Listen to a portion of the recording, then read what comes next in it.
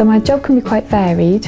I would say sometimes it can be about doing kind of desk research, so doing reading, understanding what the state of the art is. Quite often we develop prototype technologies in-house to, to try and explore things like um, new messaging devices or new communication devices and often we'll work in teams to come up with ideas for those and then some of the some of my colleagues or some of the engineers and designers that I work with will, will kind of build something and then it's more my role to um, do field studies of that so it's often my job to go and take that to people and maybe deploy it, leave it with families or with individuals for maybe up to three months and just kind of go back, interview them, try and understand what they think of it and then see what we can learn for that, from that to inform the design of technology.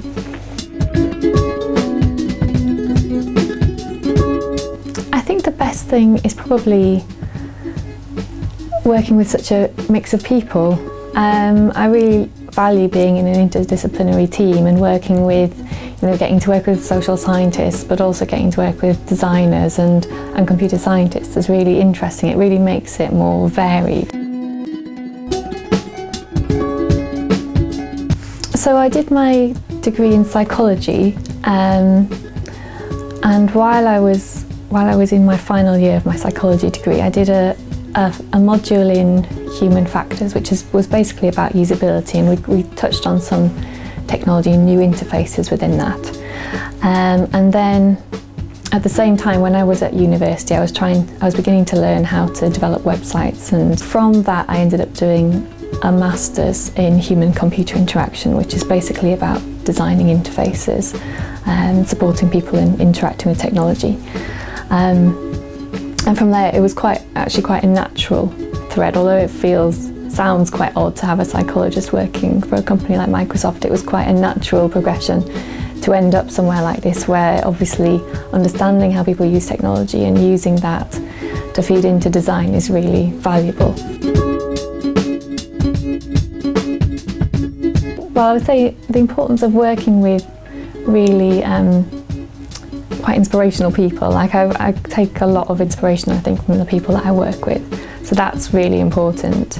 And I think all through my career, like when I was doing my PhD, um, when I was a research assistant, all the people who I've been working with have been really great and that's been really valuable.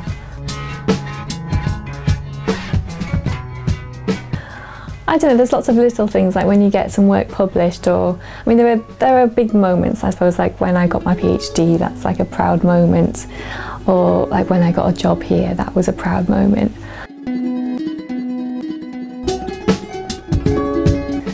When I was kind of choosing my A-levels, I wanted to be a psychologist. That's how I ended up doing a degree in psychology. Um, and I think I had quite a general skill set. I wouldn't say I was like really gifted in any one area. I kind of did a spread of subjects. I did like English and I did biology and I did math. So I kind of, I did sociology. So I cut across the social sciences and, and science subjects.